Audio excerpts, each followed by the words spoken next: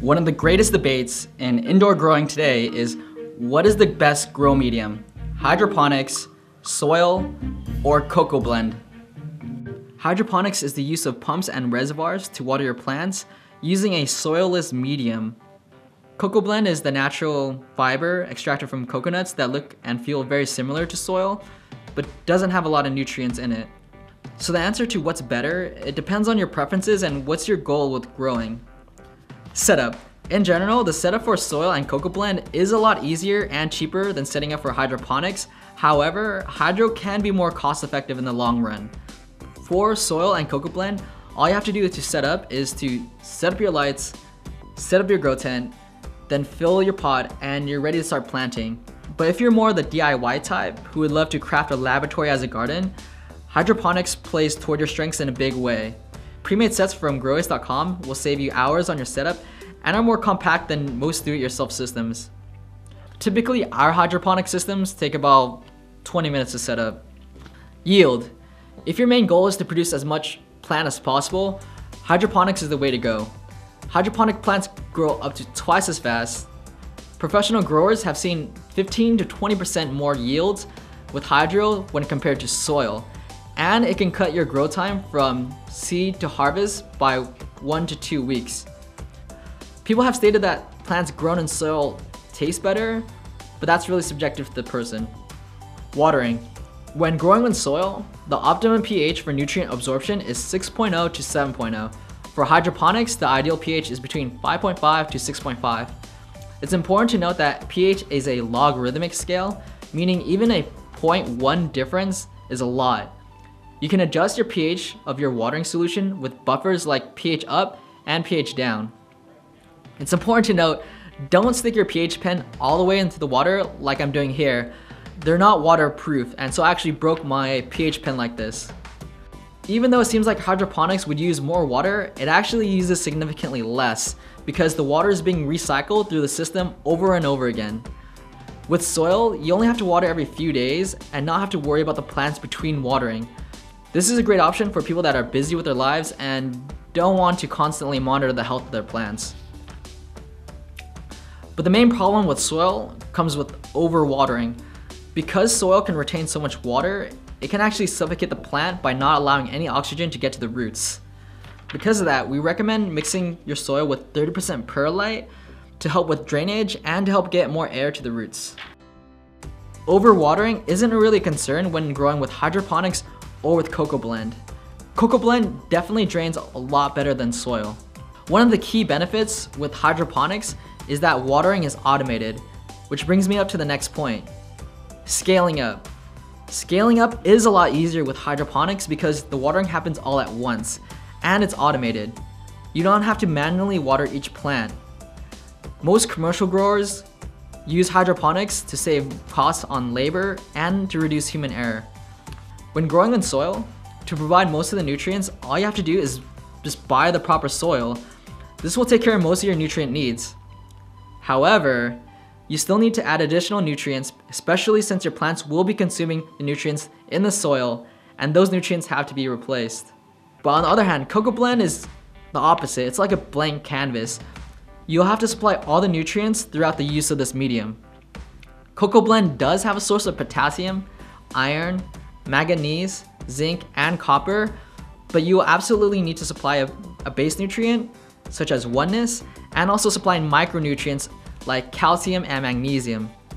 With hydroponics, you will need a complete set of nutrients. For example, you can go with the Oneness set, which includes Oneness, the base nutrient, White Widow for root growth, Sea Cal as a calcium supplement, and Ginormous, which is for flowering because a plant's nutrition needs change when it flowers. Or you can go with a two-part program like Master A and Master B, which will have all your macro and micronutrients needed for vegging. The package also includes White Widow, and Ginormous as well. It's really important to note that nutrients made for soil and nutrients made for hydroponics and coco blend are completely different. If you're growing with soil, buy nutrients or tea compost specifically made for soil. If you're growing with hydroponics or coco blend, then you can buy your typical hydroponic nutrients. Using hydroponic nutrients on a plant that's growing in soil will very quickly lead to an overnutrition eventually leading to the death of your plant. Pests, bugs, and soil diseases. If you already have problems with bugs in your house, it's recommended for you to go Coco Blend or Hydro because with the lights and the smell, the bugs will definitely find your plants and they'll usually find home in the soil. They can end up eating your plants or leaving diseases. Even though Coco Blend does look a lot like soil, it definitely doesn't attract as much pests.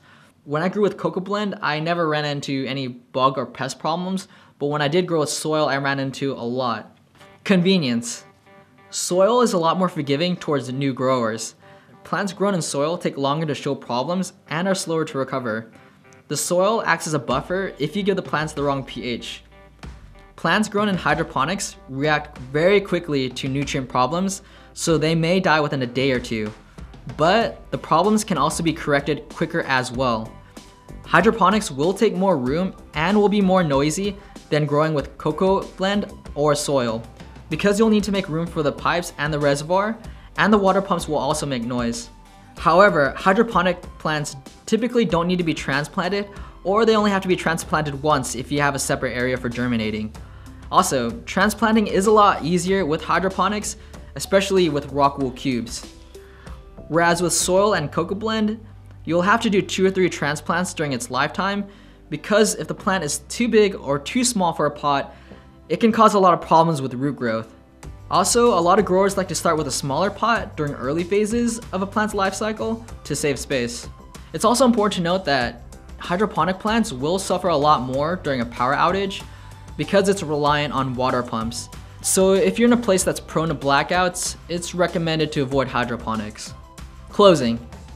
So the real question isn't which grow medium is the best, Rather, you should ask the question, which grow medium is the best for my preferences and what am I trying to do?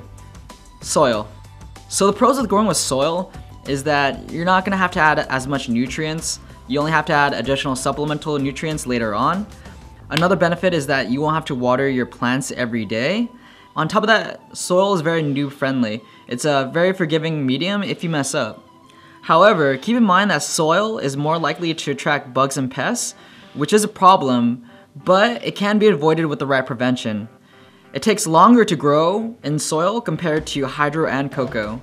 And a big major problem is that it's very easy to overwater with soil. Alright, next let's talk about Coco Blend, which is a mix of coir and croutons. The pros of Coco Blend is that it's kind of like a gateway to hydroponics because it's more forgiving than full hydro. You get the benefits of having complete control over your nutrients, also, coco contains the beneficial fungus Trichoderma, which slowly releases potassium.